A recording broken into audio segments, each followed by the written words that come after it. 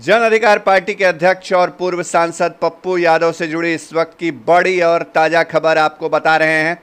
पप्पू यादव जो 32 साल पुराने अपहरण के केस में इस वक्त जेल के अंदर हैं, जिनका दरभंगा के डीएमसीएच में इलाज चल रहा है, उनकी तरफ़ से आज मधेपुरा की निचली अदालत में जमानत की अर्जी लगाई गई थी, लेकिन मधेपुरा एसीजेएम कि कोर्ट ने उनकी जमानत को नामंजूर कर दिया है, अर्जी को खारिज कर दिया है और सेशन कोर्ट में अपील करने के लिए कहा है। जी हाँ इस वक्त जो बड़ी खबर मधेपुरा से आ रही है वो ये कि पप्पू यादव की जमानत अर्जी पर एसीजेएम कोर्ट ने उन्हें राहत नहीं दी है। इसके पहले पटना हाई कोर्ट ने वर्चुअल मोड में पप्पू यादव की जमानत पर सुनवाई करने से इनकार कर दिया था।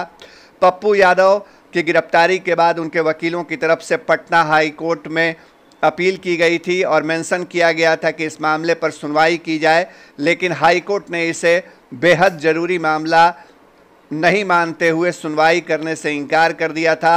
और अब पप्पू यादव जब मधेपुरा की निचली अदालत में गए हैं एसीजीएम कोर्ट में तो उनकी जमानत पर एक बार फिर उन्हें झटका लगा है और अब सेशन कोर्ट का रुख, मधेपुरा के सेशन कोर्ट का रुख करना होगा पप्पू यादव को।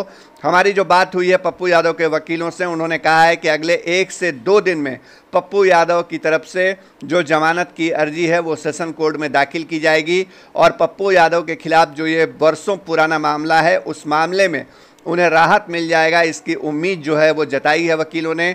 उन्होंने कहा है कि हमें कोर्ट पे पूरा भरोसा है, कोर्ट पप्पू यादव के साथ न्याय करेगा। लेकिन आज जो मामला हुआ है, वो आपको बता दें, Madhepura A C J M Anoop Kumar Singh की कोर्ट में पप्पू यादव की तरफ़ से जमानत की अर्जी लगाई गई थी। लेकिन उन्होंने इस मामले पर पप्पू यादव को राहत नहीं दी और अब पप्पू यादव को सेशन कोर्ट में अपील अपील करना होगा जमानत के लिए। सेशन कोर्ट में अपील करने से पहले वकील पूरी तैयारी कर लेना चाहते हैं और यही वजह है कि इसमें एक से दो दिन का वक्त लग सकता है। संभव है कि अगर ये शनिवार तक अपील हो जाती है तो फिर इस पर सुनवाई हो जाएगी। अगर ऐसा नहीं होता है तो अब मामला अगले हफ़्ते तक खिंच सकता है। इसकी संभावना से भी इनकार नहीं किया जा सकता है। तो पप्पू यादव के चाहने वालों के लिए, उनके फैंस के लिए, उनके पार्टी के नेताओं और कार्यकर्ताओं के लिए ये बड़ी खबर जो मधेपुरा से आ रही है, वो खबर सबसे पहले हमने आपको बताई है कि पप्पू यादव को फ़िलहाल मधेपुरा ए कोर्ट ने कोई राहत नहीं दी है। पप्पू यादव की जमानत याचिका पर राहत नहीं मिली है और अब उन्हें मधेपुरा सेशन कोर्ट का रुख करना होगा। पप्पू यादव फ़िलहाल डीएमसीएच में अपना इलाज करा रहे हैं।